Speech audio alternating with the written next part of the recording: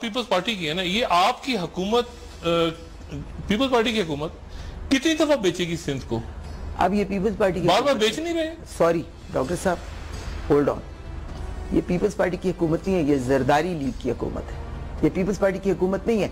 Peoples Party की हुकूमत होती तो आज पाकिस्तान के गरीब आवाम के साथ जो कुछ हो रहा है पीपल्स पार्टी का वर्कर जिस तरह धक्के खा रहा है दर बदर हो रहा है ये नहीं होता।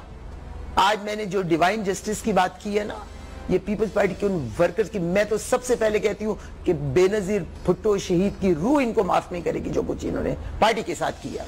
और ये सजा भुगत रहे हैं जो कोई मोहतरमा बेनजीर भुट्टो के साथ इस मुल्क के अंदर हुआ है उसकी सजा भुगत रहे हैं ये सब लोग। आपको लगता है कि सजा भुगतेंगे? क्योंकि बात तो लोग कह रहे हैं भुगत रहे हैं और इससे ज़्यादा भुगतेंगे। आप अगर खुदा का इंसाफ है तो इससे ज़्यादा भुगतेंगे ये लोग। मैं कहती हूँ कि जो कुछ इन लोगों ने इस पार्टी के साथ किया है, इस पार्टी के दो लीडरों की शहादतें इस पार्टी के हज़ारों कारकुनों के कोड़े फांसियाँ इस पार्टी के अंदर। इन्होंने लोगों के घर बर्बाद किए हैं, लोगों ने अपने आप को ज़िंदा जलाया है दीदी इस पार्टी के लिए।